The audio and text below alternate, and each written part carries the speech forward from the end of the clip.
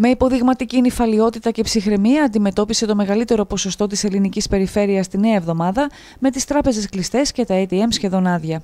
Τουρισμός, μετακινήσεις, εμπόριο και συναλλαγές κινήθηκαν μέχρι στιγμής ομαλά, χωρίς προβλήματα και φαίνεται πως την εβδομάδα που διανύουμε η κατάσταση θα είναι διαχειρίσιμη.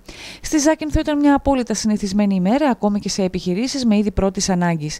Τονίζεται μάλιστα ότι υπάρχει επάρκεια αγαθών. Αυτό θα το δούμε από τη Τρίτη, Τετάρτη και μετά. Γιατί τώρα η επάρκεια φαρμάκων που υπήρχε την Παρασκευή υπάρχει και σήμερα. Όπως καταλαβαίνετε, δεν υπάρχει διαφορά. Οι πληροφορίες είναι ότι σε ορισμένες περιοχές υπάρχει αυξημένη κίνηση και σε άλλοι δεν υπάρχει. Αυτό είναι. Στον τουριστικό τομέα η αβεβαιότητα είναι διάχυτη. Νέα πακέτα, τα λεγόμενα της τελευταίας στιγμής, που αποτελούν και ένα μεγάλο ποσοστό της αγοράς, δεν κλείνονται πλέον. Ωστόσο, η εκκίνηση στο ξεκίνημα της εβδομάδας δεν έδειξε σημάδια πανικού ή σπασμωδικών κινήσεων. Ναι, υπάρχει σίγουρα μεγάλη ανησυχία.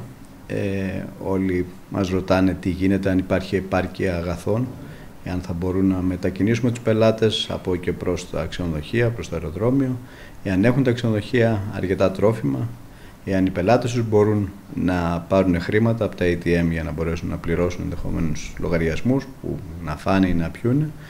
Όλες αυτές οι ερωτήσεις για τις οποίες υπάρχουν φυσικά απαντήσεις, υπάρχουν και επίσημες απαντήσεις. Γενικά στο νησί έχω μιλήσει με πάρα πολλούς ξενοδόχους σήμερα, φαίνεται ότι υπάρχει επάρκεια και ότι δεν πρέπει να υπάρχει λόγος ανησυχίας. Την ίδια στιγμή, η Ζάκυνθο ως τουριστικός προορισμός εμφανίζει απόλυτη επάρκεια σε καύσιμα και τρόφιμα, τουλάχιστον για την εβδομάδα που διανύουμε, παρά τη σχετικά αυξημένη κίνηση στα πρατήρια καυσίμων. Η κίνηση, όπως ξέρετε, και με βάση των χρόνων που έχουμε τώρα της κρίσης, που είναι την περίοδο που διανύουμε, ε, ο κόσμος μετρημένα έβαζε χρήματα, βενζίνα.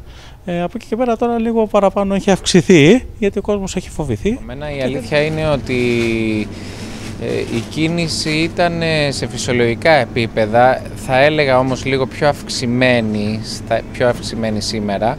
Ε, νομίζω ότι ο κόσμος κινήθηκε με ψυχραιμία ο περισσότερος ε, ή είχε προετοιμαστεί. Εμείς ούτως ή άλλως, ε, όπως βλέπετε και εσείς, δεν έχουμε κάποιο πρόβλημα. Τα ράφια μας είναι γεμάτα, ε, έχουμε ακόμα τις εμπορικές μας συναλλαγές με τους προμηθευτές, δεν έχει αλλάξει κάτι επί του παρόντος.